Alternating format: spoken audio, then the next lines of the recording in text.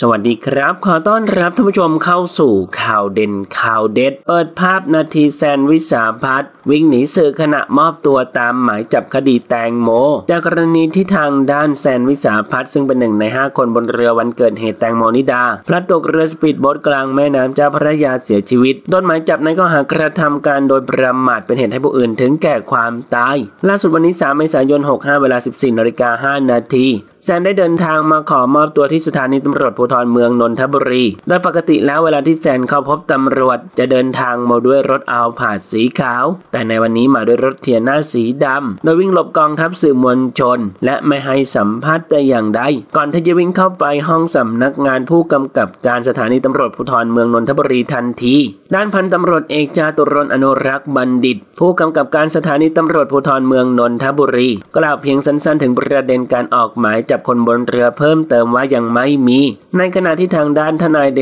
ชาก็ได้แชร์ข้อความเรื่องออกหมายจับเพิ่มเติมว่า ไม่อนุมัติหมายจับจ็อบและกระติกให้ออกหมายเรียกรับทราบข้อกล่าวหาแทนท่านผู้ชมนะครับ มีความคิดเห็นอย่างไรกับเรื่องนี้ลองแสดงความคิดเห็นกันเข้ามาดูนะครับ ขอขอบคุณข้อมูลจากที่นี่ .com ขอบคุณครับ